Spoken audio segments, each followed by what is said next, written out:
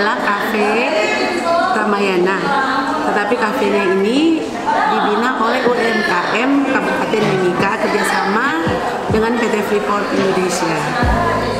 Apa saja yang disediakan di sini?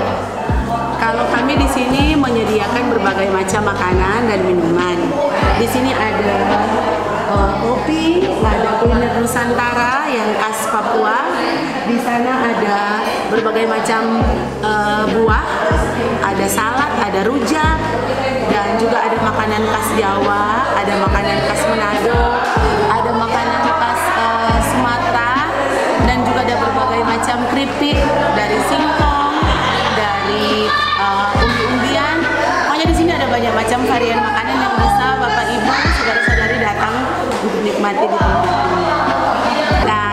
juga uh, kami bertujuan ada di tempat ini di Cafe Ramayana lantai 2.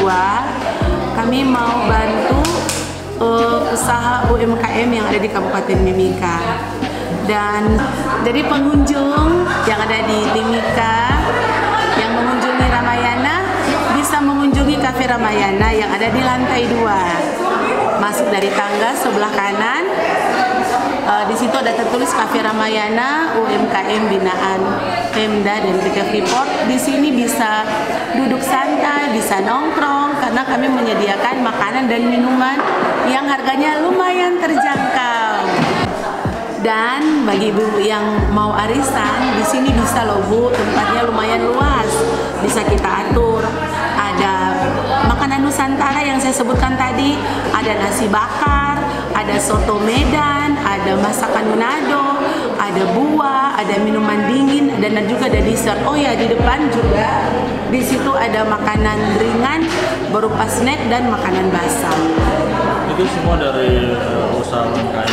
Iya, ini semua adalah uh, kegiatan yang dilakukan oleh para pelaku UMKM yang ada di Kabupaten Mimika. Harapannya apa? Oke, Uh, kami punya harapan dengan adanya tempat ini bisa membantu selain untuk mendapatkan tempat yang santai buat para pengunjung Ramayana, uh, yang pasti adalah untuk membantu para pelaku UMKM secara finansial memiliki perekonomian yang kuat uh, supaya terus bisa berkarya membantu keluarga.